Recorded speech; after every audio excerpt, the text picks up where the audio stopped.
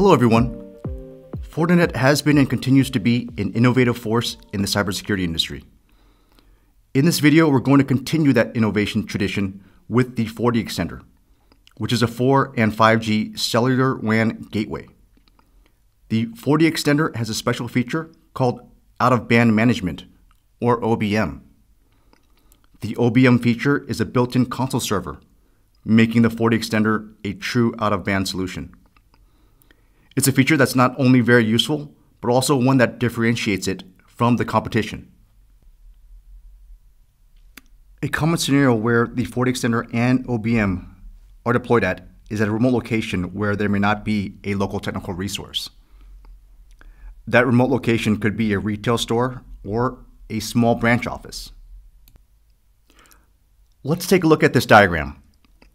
The network administrator at HQ manages the remote locations network by going over the primary path via the primary service provider. One day, the administrator gets notified that the remote locations network is down and is suddenly not accessible. Unfortunately, the remote location takes eight hours to drive there. Well, how can the network administrator at HQ find out what the actual issue is? Because the FortiExtender provides an alternative path to the remote network over the cellular service provider, the network administrator can now access the remote locations network. This is why it's called out of band. With OBM, the network administrator has access to the remote network's devices over a serial console connection and can then perform the remedial actions necessary to troubleshoot and resolve the issue. Before I show you how the OBM interface is accessed, I want to show you a remote location that I have set up. At my remote location, I have a FortiExtender that has a USB hub connected to it.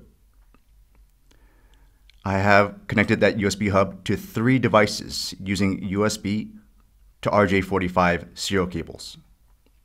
A FortiGate 40F, a FortiGate 61F, and a FortiWi-Fi 60E.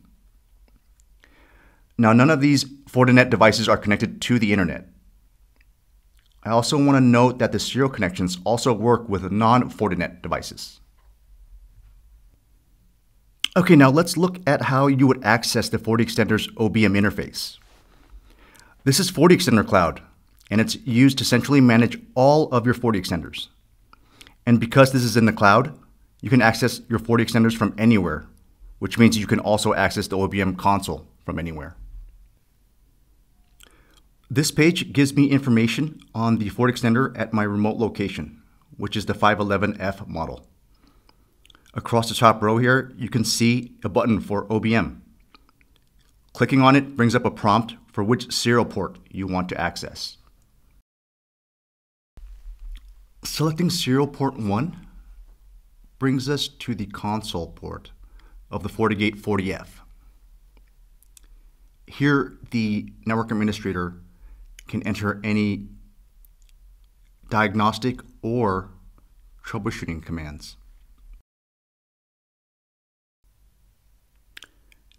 Serial port 2 connects us to the console port of the FortiGate 61F. I want to verify that this is in fact a 61F model.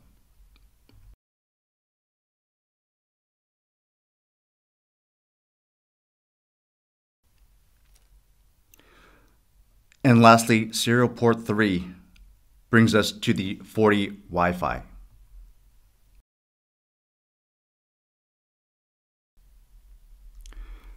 Network stability and uptime is paramount in today's businesses.